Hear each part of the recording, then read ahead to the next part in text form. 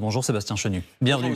Euh, vous êtes député du Nord, vice-président euh, du Rassemblement national, mais aussi de l'Assemblée nationale. Alors je voudrais commencer évidemment avec le Parlement, puisque vous allez vous retrouver en congrès à Versailles lundi, après le vote des sénateurs hier. Ils se sont prononcés pour l'inscription de la liberté garantie à l'IVG dans la loi fondamentale. Comment est-ce que vous avez accueilli ce vote?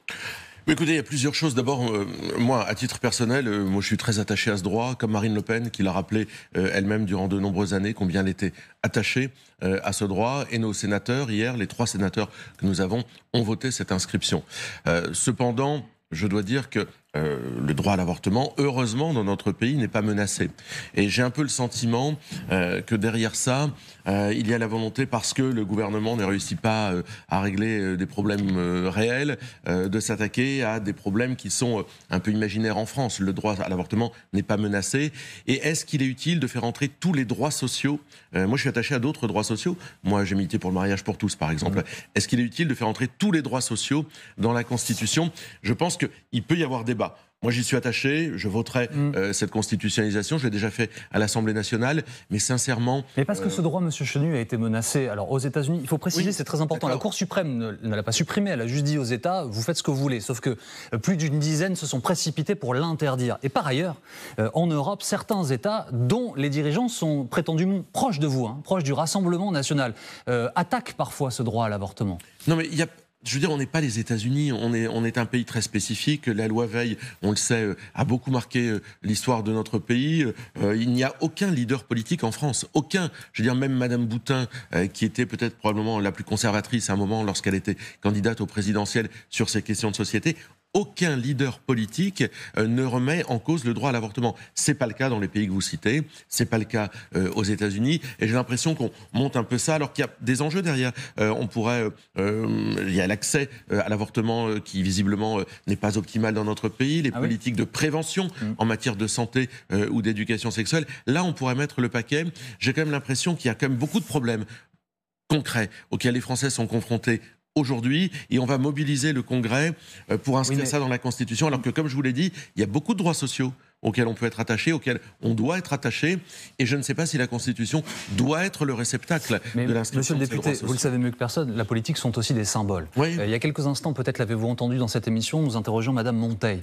Euh, elle a été un compagnon de route de Simone de Beauvoir. Elle nous a dit sur cette antenne vous avez dépassé nos rêves, vous, au sens de tous ces parlementaires qui ont voté ce, ce texte. Le symbole, il est capital. Est-ce que c'est historique selon vous?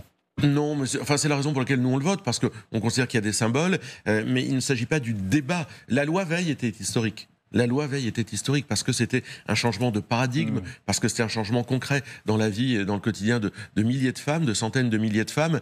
L'inscription, euh, sincèrement, euh, dans la Constitution ne me semble pas revêtir la même dimension. Vous étiez hier au Salon de l'Agriculture en compagnie de Marine Le Pen, après un passage remarqué de Jordan Bardella sur, sur deux jours. alors, il y a eu un petit euh, prix. Euh, Jordan Bardella serait mis les, pieds dans le tapis au sujet des prix planchers, puisque je crois, peut-être allez-vous nous le confirmer, il y a une petite euh, explication de texte avec les, élus de votre parti, non Hier. pour essayer de comprendre ce qu'était vraiment la vision du Rassemblement national sur les prix planchers. Non, mais nous, ce qu'on cherche, c'est avoir des solutions qui permettent de changer concrètement mm. la vie de nos agriculteurs. un prix plancher, euh, présenté comme le fait le, gouvernement, ça peut devenir un prix plafond si c'est pas bien euh, travaillé. Et il faut un petit peu d'explication si vous le permettez. Un prix plancher, euh, nous on considère que ça doit plutôt être un prix garanti, c'est-à-dire ce qui revient dans la poche de l'agriculteur. Toute charge comprise. Toute charge comprise. Vous savez que euh, les agriculteurs, les producteurs se mettent en concertation, en discussion chaque année avec les industriels euh, pour établir des prix euh, de vente de certains de leurs produits. Ces prix ne peuvent pas évidemment ne pas tenir compte des coûts de production, mais on pourrait dans les indicateurs qu'on met en place faire intervenir d'autres éléments. Par exemple,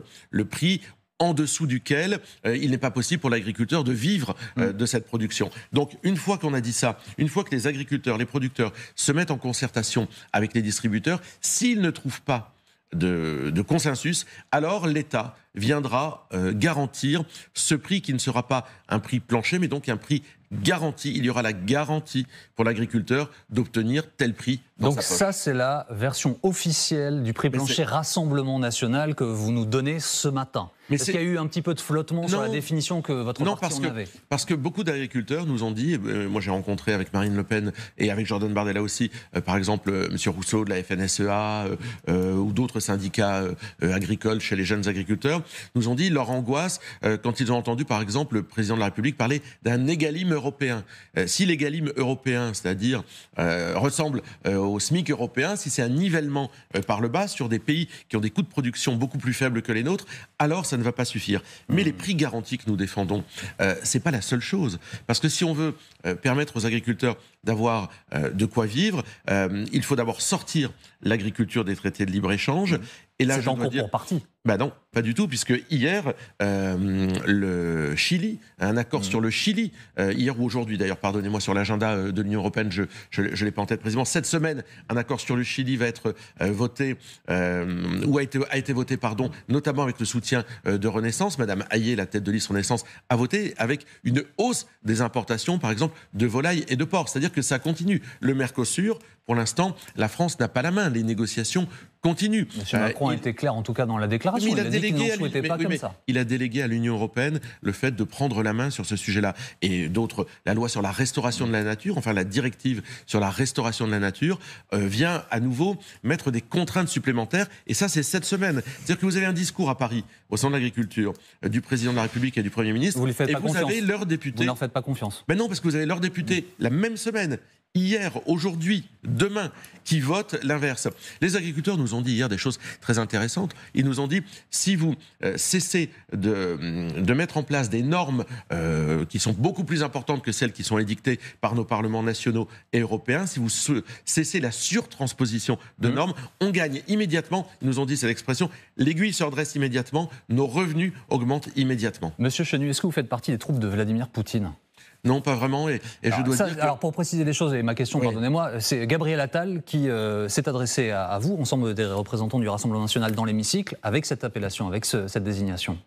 Je trouve que cette polémique, euh, elle est un peu euh, dérisoire et assez scandaleuse parce que les, débats que nous menons et les débats que nous avons méritent mieux que ce genre d'invective. Moi, je n'invective pas le Premier ministre. je pense qu'on peut avoir des positions euh, politique sur l'avenir de notre pays, le rapport qu'on a euh, à l'Ukraine, à ce conflit armé euh, qui existe en Ukraine, à la condamnation que nous avons faite de la Russie, sans s'invectiver, sans faire passer les uns en fait, il faisait allusion notamment au, programme de Marine Le Pen. Alors, et nous l'avons précisé dans cette émission, le programme, il est antérieur à l'invasion totale de, de l'Ukraine par la Russie mais Marine Le Pen demandait une proximité géostratégique avec la Russie. Non, Marine Le Pen demande que, comme le général de Gaulle. À l'époque, il y a deux ans. Oui, mais comme le général de Gaulle le disait, les États ont des relations entre eux. Hmm. Donc ça veut dire que la France doit avoir des relations avec la Chine, avec les États-Unis, avec la Russie, quand bien même leur régime ou ceux qui sont à leur tête ne nous conviendraient pas. Une fois qu'on a dit ça, il y a eu l'affaire de Vladimir Poutine qui envahit, euh, qui marche sur les plates-bandes de l'Ukraine, que nous avons condamné immédiatement, parce qu'il faut tout dire dans, euh, dans cela. Nous avons condamné ça, nous avons voté les aides au Parlement euh, européen à l'Ukraine, mais c'est vrai que lorsque Emmanuel Macron sous-entend ou assume ce qu'il appelle une ambiguïté diplomatique en disant on pourrait peut-être envoyer des troupes françaises dans ce conflit, nous nous disons stop. Nous ne sommes pas d'accord avec ça. Et c'est vrai que c'est une différence de positionnement qui ne fait pas de nous du tout un allié des Russes, mais on n'a pas envie d'envoyer nos jeunes, nos militaires en Ukraine mourir. Bah, c'est pas ce qu'il a dit non plus, hein, Monsieur Chenu. Bah écoutez, toutes les capitales européennes hmm. euh, l'ont désavoué. Non, mais il a, euh, précisé ses propos en disant qu'il ne s'agirait pas de combattants qui seraient au front, mais d'un soutien stratégique. Il a rétropédalé. On appelle ça rétropédalé dans un langage euh, diplomatique. Un tout dernier mot. Est-ce que Jordan Bardella commence pas à faire un peu trop d'ombre à Marine Le Pen en vue de 2027 eh bien, je crois que si vous aviez accompagné, comme je l'ai fait, et Jordan Bardella et Marine Le Pen hier au Salon de l'Agriculture, vous auriez vu que non seulement ils n'ont pas besoin de ranger de CRS pour pouvoir rencontrer les Français, mais que leur popularité est extrêmement forte et celle de Marine Le Pen extrêmement impressionnante. Merci beaucoup Sébastien Chenu d'avoir été avec nous ce matin en direct sur euh, LCI.